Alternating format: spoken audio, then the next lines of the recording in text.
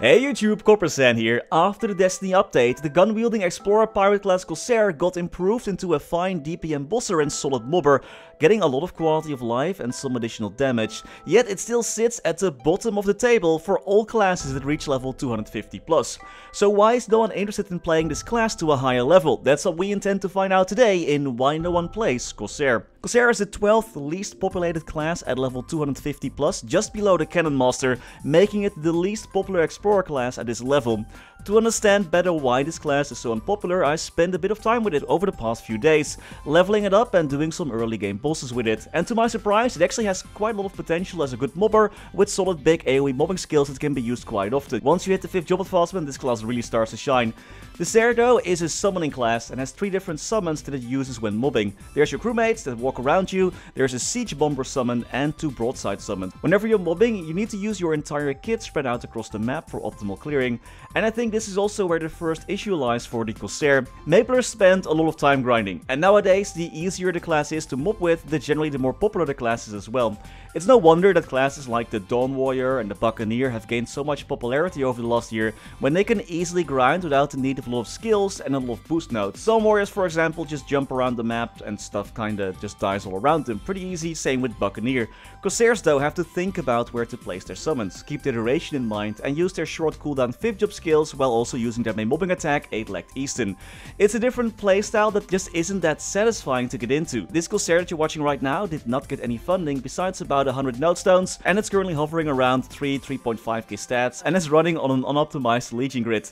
And the summons at this point just don't feel that impactful yet when you're mobbing, especially in Reboot server, and especially Siege Bomber feels kinda useless early on as it only does one line of damage. So therefore, buffing up your summons with your nodes is a must.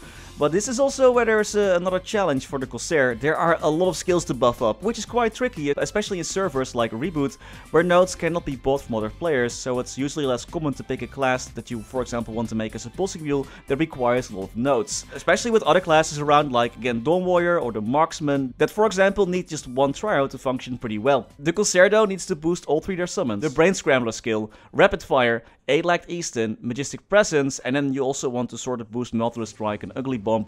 There's just so many skills that are useful to boost, making it quite difficult to get the full benefit of all your nodes until you get to a way higher level where you can actually equip all of those.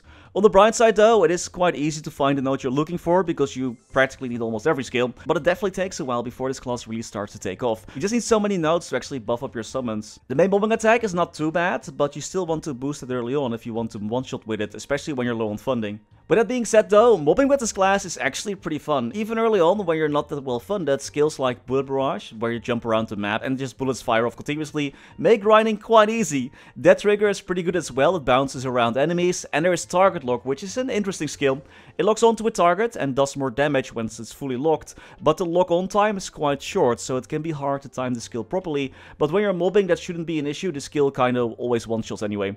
I do think though that with the additional summon placing and those not feeling that amazing early on, especially because in reboot servers monsters are a lot tankier, that's the thing that causes players to lose interest early on, because this class just feels kinda weak, the summons don't really do that much yet, unless you really buff them up with your nodes. Why play a class that needs a lot of nodes and skills when you can just one-shot the map on your Ice Lightning Mage?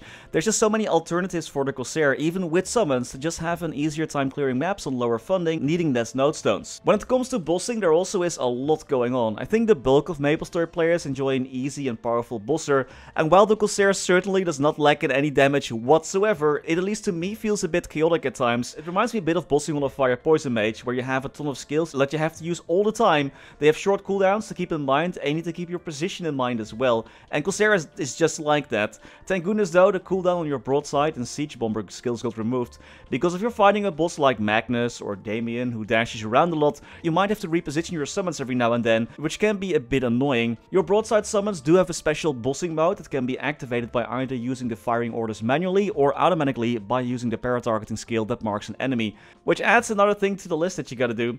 So you first mark your enemy to deal more damage to it. It's 20% more final damage, which is a lot though. And then you use your main bossing attack, Brain Scrambler. This skill is super powerful, but it does have a 5 second cooldown. It's a bit like the old snipe skill from uh, Marksman. And that cooldown can be a bit annoying, because you have to keep an eye on that as well to deal the most optimal damage.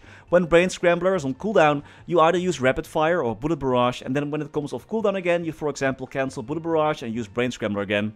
And while all of that is going on, don't forget to use your other three 5th job attacks, hyper buffs, reposition your summons if necessary, and reapply firing orders or Parrotargetting. It's a lot of work and it can be easy to get lost in all the chaos that's bossing with this class. I think having a chance to skip cooldowns on your inner abilities would be pretty epic for Brain Scrambler by the way. Besides all those tools, both Nautilus Assault and Target Lock are invincibility frames and your crewmates can take up statuses, so there is at least some safety for this class as well paired with some amazing mobility.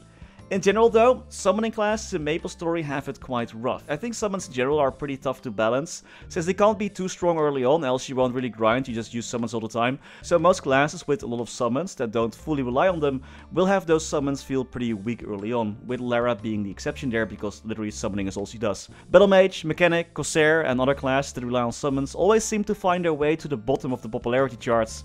Lara was not released that long ago though, so it's quite understandable that she isn't that high up there yet though. But the point being that the summoning lifestyle just doesn't seem to be a thing that a lot of people enjoy. It also didn't help that the Corsair was a high effort class before the Destiny update, so before last year's summer. And while this class is a lot easier and less effort to play right now, it might still carry a bit of that stigma around. After playing around with this class for a few hours though, I can say I personally really enjoyed grinding on it. I just wish that my summons did a bit more damage early on, and that I could use Ugly Bomb in the air, not sure why I have to be on the ground to use that. And if I can nitpick, I wish the duration of the lock from target lock would last like 2 seconds longer, it would be a bit easier to aim. This class though has access to the 5th job skill loaded dice, where you just get free 30% bonus EXP just because you're a pirate, which is pretty dope. And all the mobility that you get with your wings and backshot makes bossing pretty enjoyable and fun if you don't lose yourself in the chaos of using all those skills. Maybe I'm just getting old. Is that it guys? Am I just getting old? Is it too much for me to handle? Overall though this class is super powerful, with powerful skills like Brain Scrambler, and with changes to Quick Draw being passive now and your summons no longer having cooldowns, things are definitely a lot easier when you're facing those bosses. There are some upcoming changes for this class though in the, about 6 months from now. Brain Scrambler for example is getting a minor nerf with the Savior update, with the damage reducing from 980% to 880%. Bullet Barrage got an increase in damage and hits, but lost shorter now, which is pretty dope for bossing and not that amazing for grinding, but at least there's that now. Wrapping things up though, I think the Corsair is a unique class that is pretty powerful when it comes to bossing, but it's still a high effort class compared to a lot of other classes, needing more nodes and more thought into grinding with your summon placements and rotations before they really start to shine. Because of that, it sits close to the bottom of the most popular classes in MapleStory.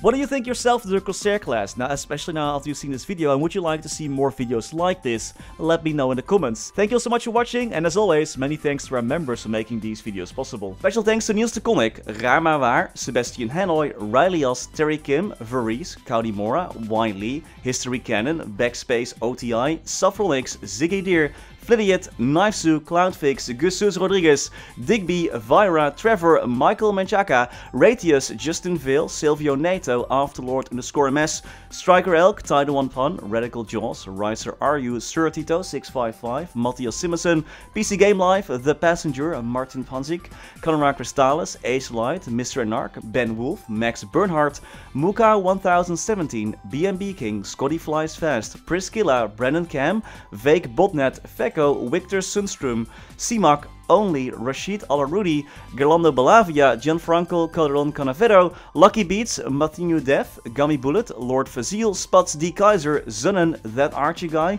Grogo, Grable Egg, and Louis Bento Brandau. Thank you so much for watching, stay safe, and as always, happy mapling.